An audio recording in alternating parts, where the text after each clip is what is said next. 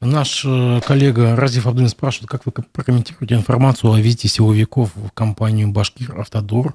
Вчера пруфы об этом сообщали. Ну, я прокомментирую эту информацию как закономерность. То есть рано или поздно это должно было случиться. А какие предпосылки? Ну, потому что было много сигналов и информации о, о наличии проблем с этим предприятием. Башпир-2? Вот как бы не хотелось бы, потому что с Башпиртом-то ведь все как-то затихло и улеглось. Да, где, если не слышали где, же. Где э, возвращенные 400 миллионов э, рублей, которые были заявлены как похищенные? Где, ну, виновники? Ну, погодите, обычно такие вещи не, не скоро делаются. В смысле, десятилетиями? Ну, время какое-то потребуется. Всего полгода по Башпирту прошло. Ну вот, ну, вот я и хочу э, понять, э, это замнут или там все-таки в конце концов нам покажут, значит, там какого-нибудь председателя совета директоров в наручниках? А Башкир Федоров, какая подоплека? Ну, подоплека была в том, что существует масса вопросов по, вот, ну, естественно, бюджетным деньгам.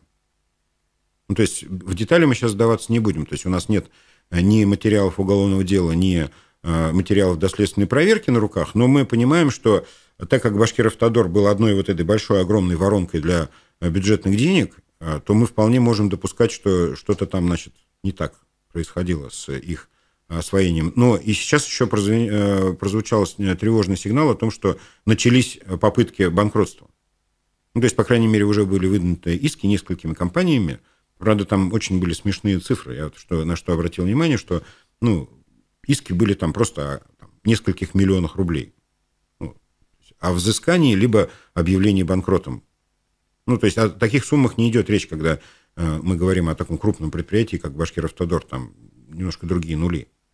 Вот. Но что-то тревожное там происходило в хозяйственной деятельности, и потому я считаю, что вот это явление закономерное. Другой вопрос, чем это сейчас там, ну, в конце концов, завершится, либо как это продолжится, да? То есть господин Юланов, он сейчас где? На свободе с чистой совестью или уже нет? Была информация о том, что еще ряд сотрудников, в том числе бывших сотрудников Башкиравтодора, ну, каким-то образом вовлекли вот эту орбиту следствия и следственных действий. То есть вчера к вечеру там вот по Кармаскалинскому району и бывший э, первый зам тоже были каким-то образом привлечены к этим действиям. Пока у нас нет достаточной информации, но я еще раз повторю, что э, и проверка, и контроль Башкиравтодора – это важный э, элемент наведения порядка в финансовой системе республики. Давайте отметим просто, что дорожная отрасль у нас накачивается сейчас активно деньгами, поэтому я думаю, что это прямо э, лакомый Конечно, конечно, конечно. Огромные бюджеты, они, они превышают предыдущие года там э, даже кратно некоторые. То есть, соответственно, понятно, что у нас так уж устроено все. Чем больше этот поток денег, тем больше попыток ими воспользоваться не, незаконно. А на ваш взгляд, какие еще госкомпании республики находятся сейчас в зоне турбулентности подобной? Все, кроме Башпирта.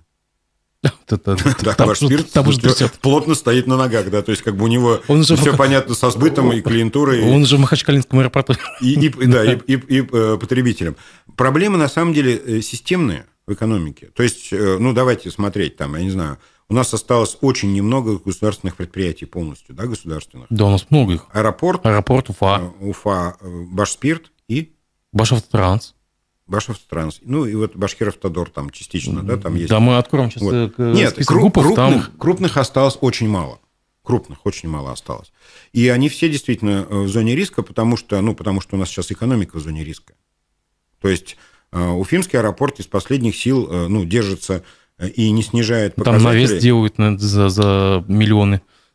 Нет, мы не говорим о реконструкции, мы говорим о функционировании предприятия. Угроза в первую очередь лежит в этой плоскости. То есть в России кончаются самолеты, э, российские компании не летают за рубеж, иностранные компании все меньше и меньше заинтересованы летать в Россию и прочее. То есть в подобных э, обстоятельствах, скажем, предприятию Уфимский аэропорт очень непросто выживать. То есть им нужно придумывать, например, внутренние авиалинии, они, они уже летают там э, чуть ли не в десяток каких-то дополнительных мест, в которых никогда не летали, и молодцы.